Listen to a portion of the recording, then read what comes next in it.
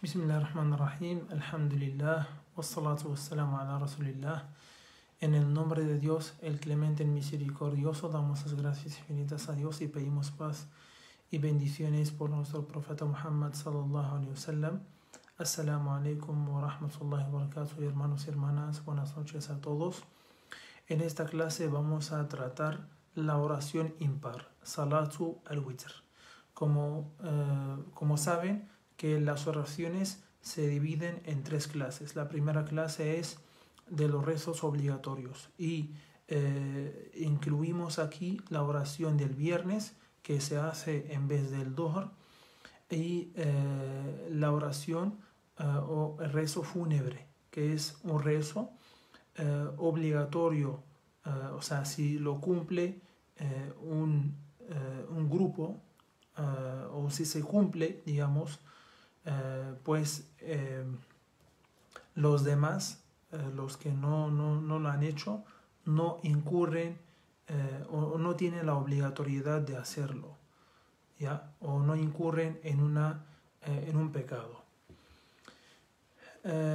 y hoy comenzamos con la segunda clase de los rezos, que, que, son los rezos de sunna confirmada, ¿ya?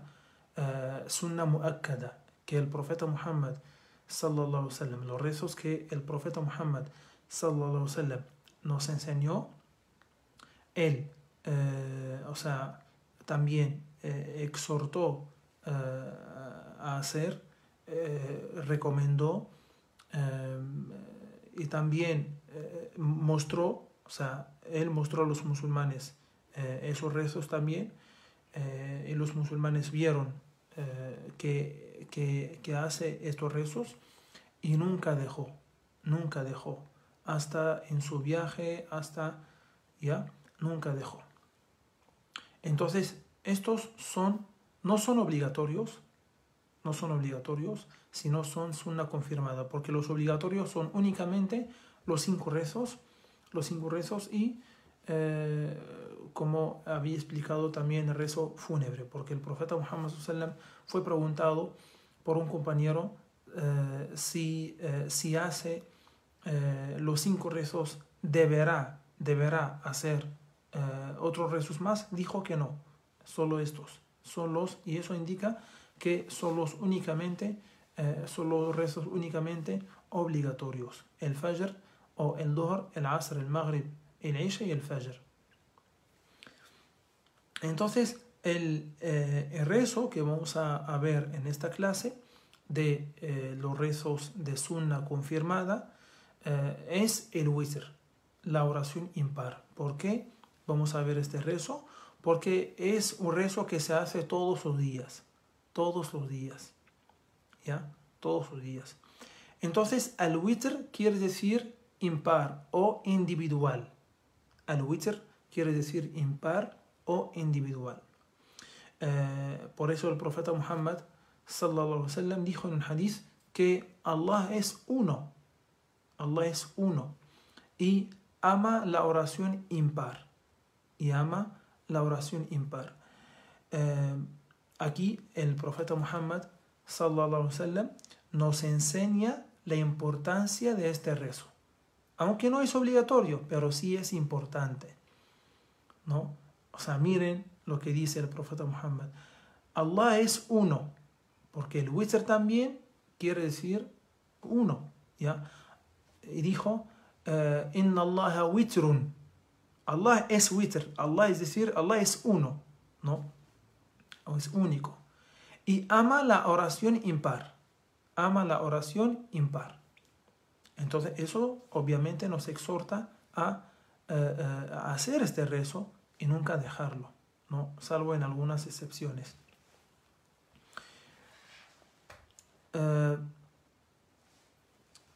entonces, el, eh, las, eh, las, virtudes, las virtudes de este rezo, obviamente cuando el musulmán hace un rezo, sea voluntario, obligatorio, o sea, sin hablar de las virtudes, o sea, generalmente cualquier rezo tiene recompensa. Generalmente cualquier rezo tiene recompensa. El hecho de hacer la ablución, tiene aparte su recompensa. El hecho también de, eh, de decir Allahu Akbar, takbirat al-ihram, leer suras al-Fatiha, leer otra sura, hacer la inclinación del ruku', eh, glorificar a Dios, luego eh, agradecer a Dios, luego hacer la postración, glorificar a Dios, todo eso tiene recompensa, ¿no? Tiene recompensa.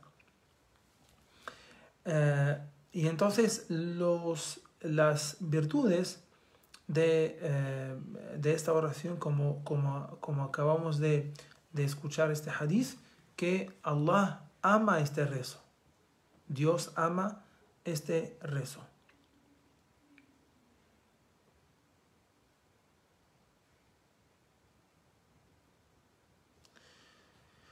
Entonces, ¿cómo se hace? Vamos a ver ahora la descripción o las normas de la oración impar. En primero, ¿cuál es el tiempo? ¿Cuál es el tiempo de, o sea, desde qué hora hasta qué hora se hace el witr? Obviamente, primero hay que tener la ablución. Para, para cualquier rezo, sí hay que estar con la ablución. ¿Ya? Lo que hemos aprendido antes. Ahora, el rezo del witr, el horario del rezo del witr, ¿ya? Es rezando el Isha hasta antes de rezar el Fajr. Después de rezar el Isha ya se puede hacer la oración del Witr, la oración impar. Y eh, el Isha en su tiempo debido, en su tiempo determinado. Y voy a explicar por qué digo esto. Hasta antes de rezar, no digo hasta el Adán del Fajr, no si no, puede ser después del Adán del Fajr, pero antes de rezar el, el Fajr. Eh, digo o dije que después de rezar el Isha en su tiempo debido porque el viajero, el viajero sí puede adelantar la oración del Isha. Eso lo vamos a ver también, inshallah. El viajero puede adelantar, o sea, juntar el resto del Maghrib con el Isha y rezar el, Maghrib y el Isha en, el, en la hora del Maghrib. Por ejemplo, el Maghrib comienza a las 6 y 10, es un ejemplo. Entonces, puede rezar el Maghrib, terminando el Maghrib, reza el Isha. Aunque todavía no, se, no llega el Adán o, no se hizo el Adán del Isha, pero eso es solo para el viajero. Pero el que es residente o el que no está de viaje, no, no puede hacer esto. ¿Ya? Eh, y es una, es una autorización, es un permiso, no es una obligatoriedad. ¿ya? Eh, entonces, ¿qué pasa? El viajero, entonces, si adelanta el resto de la Isha, ¿a qué hora? ¿A qué hora puede hacer la oración del Witr? Puede hacer la oración del Witr rezando la Isha o después de rezar la Isha, pero en la hora del Maghrib, no. Tiene que ser después del Adán de la Isha aunque había rezado el Isha, no, tiene que ser hasta, hasta que se haga el Adán de Isha, es decir, hasta que llegue el tiempo, el horario o la hora de Isha, y recién puede hacer la oración impar, la oración del Witr. A eso se refiere, ¿no? Eh, eh, cuando dije después de rezar el Isha en su tiempo determinado, su tiempo debido. ¿ya? Y el Fajr, ¿por qué es hasta antes de, de rezar el Fajr y no es solo hasta el Adán del Fajr? Porque eh, la oración del, la oración del Witr también tiene el tiempo, el tiempo, eh, eh, digamos, electivo, ¿no? Es decir, en que el musulmán sí puede elegir a qué hora hace la oración del Witr es, por ejemplo, el, el Isha, se, supongamos, si la reza a las siete y media. Entonces él puede después, directamente después de terminar el Isha, o a las 8, a las 9, a las 10, 11, cualquier hora del, a cualquier hora de la noche, pero hasta, hasta el Adán del Fajr. Eso es el tiempo electivo, o sea, eh, eh, en, que, en que el musulmán puede elegir cualquier hora para hacer la oración impar. Pero a partir del Adán, no. o sea, eh, es, desde el Adán del Fajr hasta el resto del Fajr, es solo para personas que, por ejemplo, que se olvidaron, se olvidaron de rezar el, el witr antes, o para las mujeres, por ejemplo, que, eh, que se ha terminado el periodo de menstruación y se purificaron eh, y hicieron la ablución mayor y menor y eh, este, no les dio tiempo, no les dio tiempo a hacer la oración del witr antes del adán del fajr. ¿Ya? Esto. o el que estaba enfermo, el que estaba enfermo y no podía hacer la oración del witr, sino después del adán del fajr. Entonces, estas personas que han tenido esos casos eh, son los eh, únicos y también casos semejantes eh, pueden rezar después del, del adán del fajr. Ya, entonces ese es el, es el horario. Muy bien. Ahora, ¿cómo se hace la descripción del Vamos a ver la descripción de, del witr. Como bien lo indica la palabra al witr que es uno. Mínimo, mínimo, eh, eh, el rezo eh, del witr es mínimo de una raka. Bienvenida hermana María Daudi. el rezo del witr es mínimo una raka, una, una raka. Normalmente, o sea, aunque es, es detestable para algunos eh, para una escuela jurídica es detestable eh, eh, rezar solo en raka. ¿ya? Y si no, la, el witr se reza en tres rakas, o en cinco, o en siete, o en nueve, o en once. O también se puede hasta trece. O se puede lo que, lo que cada uno desea. Como dijo el profeta Muhammad, sallallahu alaihi wasallam, dijo eh, que, que, el,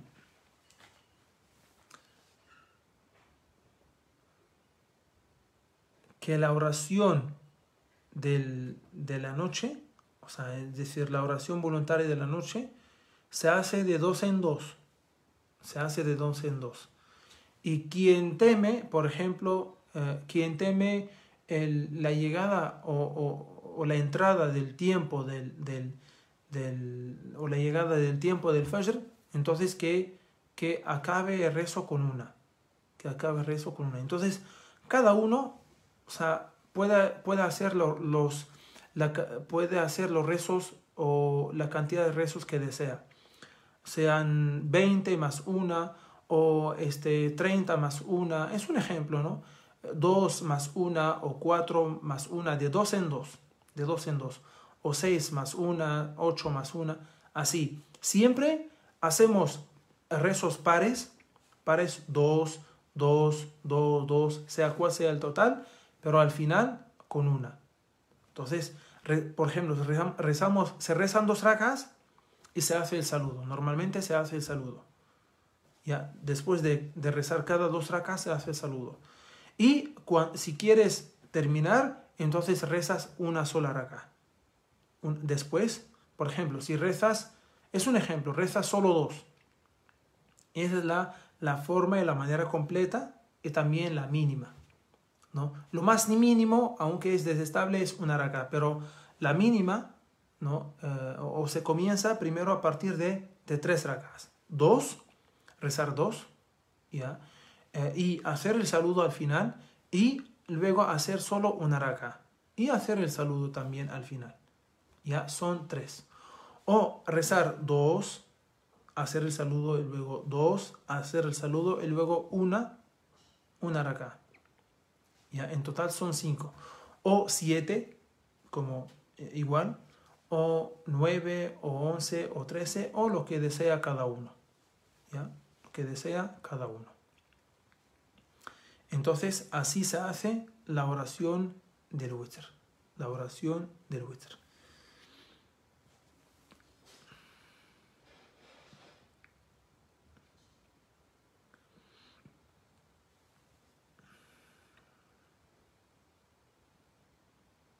el,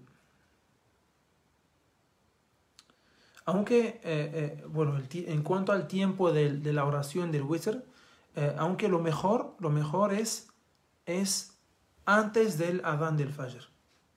Quien pueda, quien pueda levantarse antes de eh, eh, el, adán del fajr y rezar el witr en, esta, en ese momento es bueno, es el mejor momento. Pero quien eh, no puede quien no está seguro, ya puede hacer esta oración, por ejemplo, antes de dormir. O sea, después de la Isha directamente o, bueno, antes de dormir, depende de cada persona.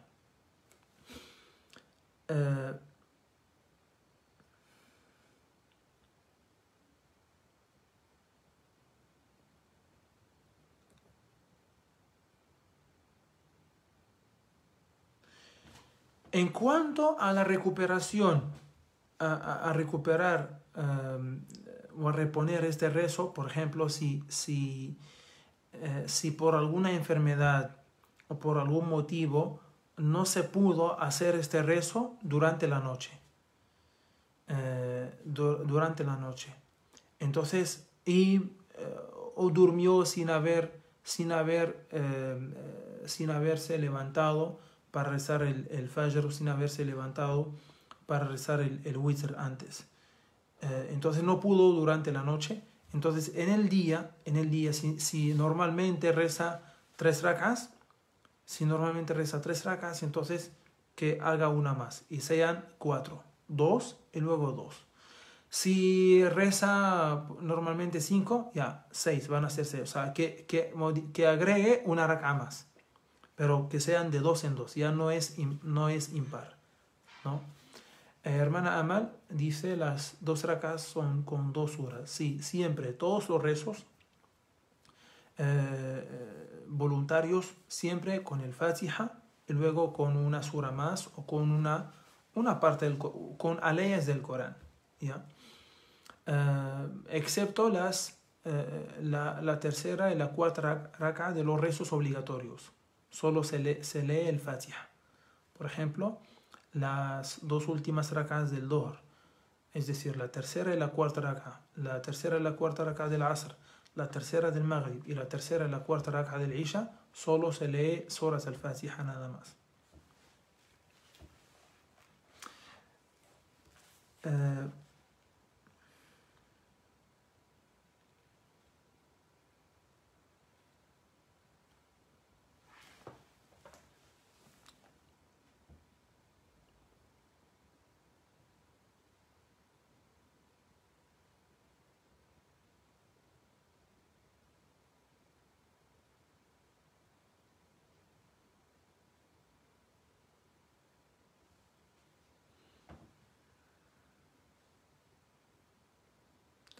También hay una, hay una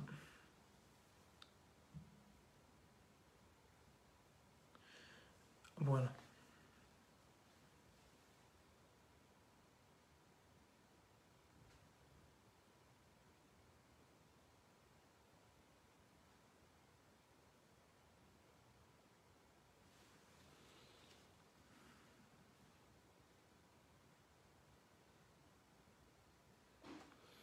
Eh, también es, es una, es una eh, leer, por ejemplo, en la primera raka del witr, la primera raka del witr, eh, si son, por ejemplo, tres, si son tres rakas, dos más una. Después del Fatiha, leer suras al-A'la, el, el, Altísimo. El número es, es, el, es el capítulo 87, ¿ya? En la primera raka después del Fatiha. Y en la segunda raka leer, leer eh, eh, suras al-Kafirun, ya que es el capítulo 109, después del el Fatiha. Y en la tercera, leer después de, de, de la lectura del Fatiha, suras al-Ikhlas, 100, eh, 112, eh, y suras al-Falaq, 113, y suras al-Nas, 114. Pero quien no sabe estas suras, eh, por ejemplo, no sabe suras al-A'la, que es el capítulo 87, O sea, puede rezar con, con, lo, que, con lo que sabe, aunque sí es mejor siempre aprender uh, una, uh, una, nueva sura para así, uh, sí conseguir y lograr la concentración durante el rezo. Lograr concentración durante el rezo. Entonces, es, eh, estas son las reglas y normas eh, más importantes relacionadas eh, con el, el wither. El wither. hay, hay cosas que no, que no, o sea, por ejemplo, hay súplicas que se dicen, por ejemplo, después del, en la tercera raka o en la, en la raka, o la raka impar, eh, pero eh, yo, eh, mi, mi, o sea, mi método es siempre darles lo que, lo que más, lo más importante y lo que también cumple con, con o sea, con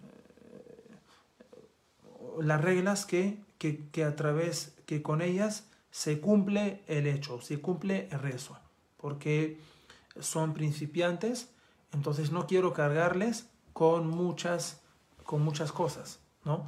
Eso se puede, inshallah, después, pero primero después de, de uh, o sea, aprender lo básico y lo fundamental, ¿no? Este es mi, mi, mi método.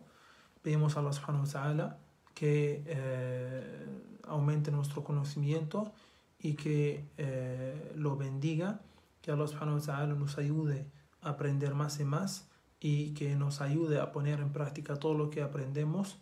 Amén. Alhamdulillah Rabbil Alamin. Y la próxima clase, inshallah, veremos otro rezo, ya otro tipo de, de, rezos, ya cómo se hace, eh, cuál es la virtud, eh, etcétera, como hemos hecho con, el, con la clase de hoy. Assalamu alaikum wa rahmatullahi wa barakatuh.